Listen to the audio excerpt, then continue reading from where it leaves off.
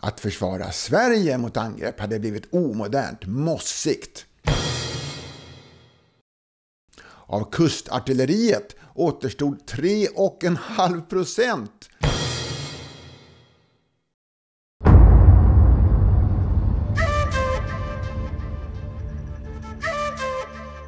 Jag heter Per Ström, och är oberoende dissident.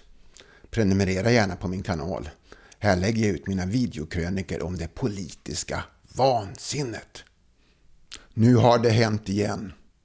Ryssland har anfallit ett fredligt grannland. Detta aktualiserar att våra oduglingar i den politiska adeln, socialdemokrater och moderater i skön harmoni, har slaktat Sveriges försvar. Vi står nakna mot en farlig omvärld. För varje land har en armé, sin egen eller någon annans, som Kinas kommunistledare Mao Zedong en gång sa. Sverige drog konsekvenserna av detta efter andra världskrigets slut, när det kalla kriget började, när alla med rätta var rädda för det mycket aggressiva kommunistiska Sovjetunionen. Sverige valde att stå utanför NATO så vi byggde upp ett starkt eget försvar för att få trygghet, för att inte bli invaderade eller hotade till underkastelse. För att försvara vår frihet, det är ju det Försvarsmakten handlar om. Jag gjorde själv lumpen i flygvapnet på F7 i Såtenäs. Och jädrar i min mössa vad de flög med sina 37er. Ja, eller Viggen som folk utanför flygvapnet säger. Det var vardagsmat lite varstans i Sverige att det plötsligt började mullra och så flög ett par 37 förbi. Jag blev glad varje gång och kände mig trygg och stolt. Men så hände det saker. År 1989 föll Berlinmuren och Ryssland såg ut att bli en västerländsk demokrati. Politikerna trodde att invasionshotet från öst var på väg bort. I 1996 års försvarsbeslut släppte man ambitionen att överhuvudtaget ha ett försvar inriktat på att stoppa invasioner. Nedmonteringen började. Just nedmontering av olika vitala samhällsfunktioner har för övrigt visat sig vara en paradgren för dagens odugliga politikervälde. Fyra år senare, år 2000, hade armén bara 15 procent av stridsförbanden kvar och 10 procent av lokalförsvarsförbanden jämfört med 1985. Drygt hälften av flygvapnet var kvar, 25 procent av krigsfartygen och en sjundedel av kustartilleriet. Resultatet var förödande. Istället för ett riktigt försvar, det så kallade invasionsförsvaret, skulle man nu ha ett så kallat insatsförsvar. Snabba, lättrörliga styrkor som kan sättas in var som helst i världen. Och det skulle vara internetinriktat också. Att försvara Sverige mot angrepp hade blivit omodernt, mossigt. Nej, vår militär skulle tjäna andra länder. Långt bort. Men där stannade det inte. År 2000 togs det formella beslutet att mycket kraftigt skära ner försvaret igen.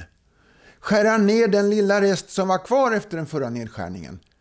Det blev en veritabel slakt. År 2004 återstod 6% av de arméförband som fanns 1985. 6 Och lokalförsvaret halverades ytterligare en gång. Antalet flygplan halverades också, igen. Och marinen halverades också en gång till. Marinen hade nu bara kvar sju stridsfartyg och fyra ubåtar. Av kustartilleriet återstod 3,5 procent av vad man hade 1985. Nu var försvar av Sveriges territorium helt borta ur planering och tänkande. Det behövdes inte. Det enda politikerna efterfrågade var små snabba styrkor som kunde sättas in utomlands, som i Afghanistan till exempel. Så långt var det Göran Persson och Socialdemokraterna som stod för slakten på det svenska försvaret. Göran Perssons skuld är enorm. Och han har också mage att skryta om det i sina memoarer.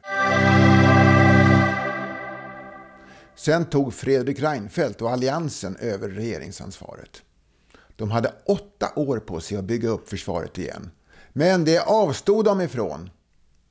Istället spottade Fredrik Reinfeldt Försvarsmakten i ansiktet genom att föraktfullt kalla det för ett särintresse. Det uttalandet var ungefär lika intelligent som att kalla Vägverket eller Skatteverket för särintressen. Eller för den delen regeringen själv. Fredrik Reinfeldt var en monumental Sverigeförstörare och folkföraktare. Och det är häpnadsväckande att Moderaterna än idag genom Ulf Kristersson hyllar Fredrik Reinfeldt. Det säger någonting om det partiets enorma förfall. En hake med försvarets nya internationella inriktning var att värnpliktiga inte kan kommenderas att strida utomlands. För att kunna skicka stridande förband till Afghanistan slogs den sista spiken in i försvarets kista. Värnplikten lades i malpåse och det blev ytterligare ett förkrossande slag mot försvaret.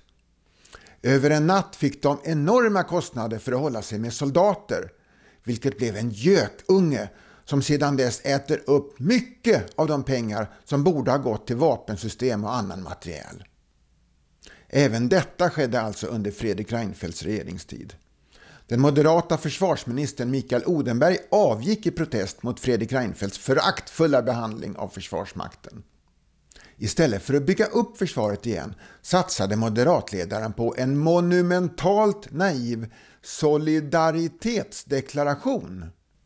År 2009 fattade riksdagen beslut om att Sverige i händelse av krig ska ge hjälp till andra länder som drabbas och ta emot hjälp från andra länder om vi drabbas. Den här solidaritetsdeklarationen är dock ensidig. Omvärlden har inte lovat Sverige någonting. Men Reinfeldt, han tyckte ändå att det var en bra ersättning för det försvar han föraktade. Naivt är bara förnamnet. Dessutom avskaffade Fredrik Reinfeldt de svenska beredskapslagren. Han skrotade och kastade bort enorma mängder vapen, militär materiel och viktiga förnödenheter för civilbefolkningen som låg i beredskapslager. Eller gav bort det till andra länder. Han sålde också de bergrum som där hade legat i. Så nu är de borta för gott för försvaret och civilförsvaret. Och det gjorde han med ett hånflin riktat mot särintresset försvaret. Det är också viktigt att veta att hemvärnet omstöptes med ambitionen att vara mindre men vassare. Flera hundratusen lokalt förankrade hemvärnsmän och ett stort antal frivilliga i olika frivilligorganisationer decimerades kraftigt. Idag kan hemvärnet mobilisera ungefär 20 000 man, varav bara hälften anses vara något sånär stridsdugliga. Och dessa 10 000 är visserligen bättre utbildade och utrustade än tidigare förband, men numerären är förödande liten och på intet vis heltäckande för riket.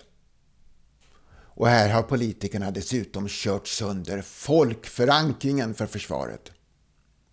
Därmed var det svenska försvarets lågvattenmärke nått. Bara en spillra återstod. En spillra som i praktiken inte hade några möjligheter att skydda Sverige mot angrepp.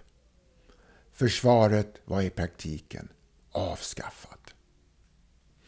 Man kan jämföra Socialdemokraternas och Moderaternas slakt på försvaret med det förödande försvarsbeslut som fattades 1925. Det inledde en process där Sverige strippades på sitt försvar med motiveringen att inga fler krig minsann skulle kunna uppstå i Europa eftersom första världskriget varit så hemskt. Vi vet hur det gick. Ja, sedan försvarets absoluta bottennotering har det blivit något bättre. Och den omsvängningen började efter att Ryssland år 2008 anföll grannlandet Georgien, vilket visade att den ryska björnen hade vaknat ur sin dvala.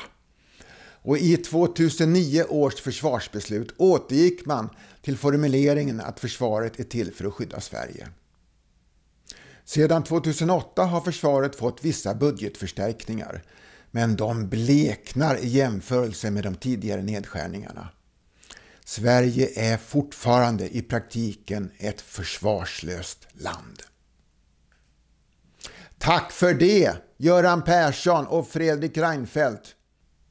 Som det brukar vara nu för tiden är båda politiska block lika destruktiva.